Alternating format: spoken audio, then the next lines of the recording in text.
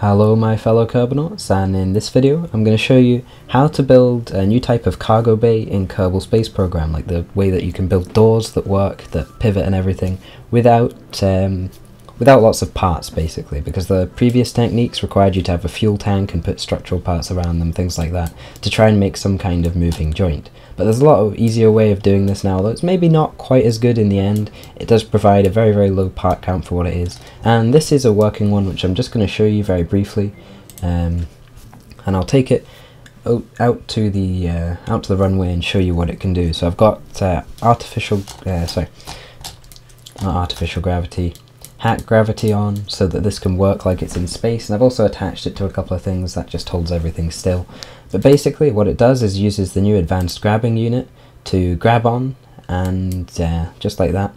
And then you can undock, use your RCS and free the pivot. Uh, and there you go, you've got a working opening joint. And uh, that actually redocks as well, just like that. So you can actually hold it in place afterwards and there you go. So that's what it can do and obviously you, can build that into a big door. So I'm going to go ahead and show you how to build one of these, and then show you one that's actually finished working in a final door.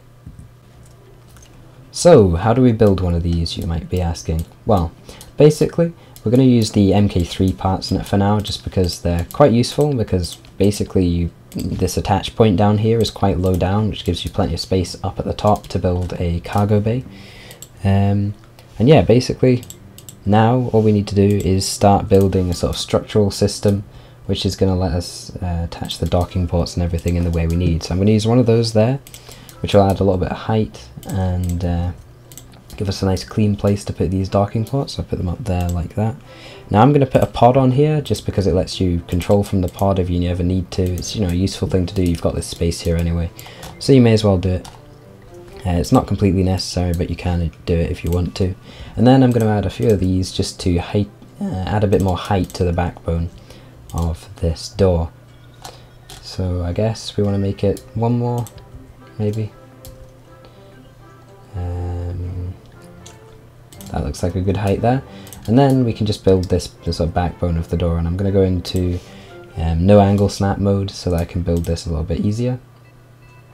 And there we are. And before we get anywhere near the end, I'm going to build, build in one of these advanced grabbing units, because that's obviously what's going to do the cool part, which is coming up right now. So we need to line this up, we want to put it as far as we can before it starts clipping and pretty much in the middle if we can as well. And then we're going to actually stack up, stack up a few of these because that's going to be what the advanced grabbing unit grabs onto. Um, and then I'm going to get rid of all this for a second and we're going to use those in a second. I've just put them aside there because we can't really build those while they're clipped with this. And now you'll notice this is obviously clipping completely wrong. We want this stack to be in the center of this. So we can put it on top of here and flip it around with the WAS and D keys. Whoop, there we go. And then we want to get it so it's basically in the center of the advanced grabbing unit. So somewhere around there. And you can see it's not perfectly lined up because I don't think the advanced grabbing unit's perfectly lined up. But it's pretty much perfectly lined up. That's as good as it's probably going to get.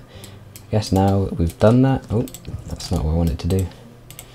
Uh, now that we've done that, we can try and line this up again because we know that if it's in the center of there, then it's in the center of everything else. So something like that is pretty good. That looks really well lined up actually. So that should work an absolute treat. So now all we're really left with to do is to go out and, well, to put a couple of RCS thrusters on first of all. I'm pretty sure this command pod actually has, a, has some monopropellant in there, yes it does. So now all we have to do is go out and test it and I'll show you how to operate it. So here we go, we're ready on the uh, runway. I've got uh, gravity hacked, which you can do with Alt F12. You can just bring up the debug toolbar and hack it or unhack it. Uh, we want to hack it because obviously this has got to be a simulation of what it's going to do in space. Um, and then we're going to arm the claw, and it should flip around like that. That, that means it's grabbed something that's sort of very, very close to it. Um, but that'll fix itself in a minute, don't worry, it won't look like that the whole time.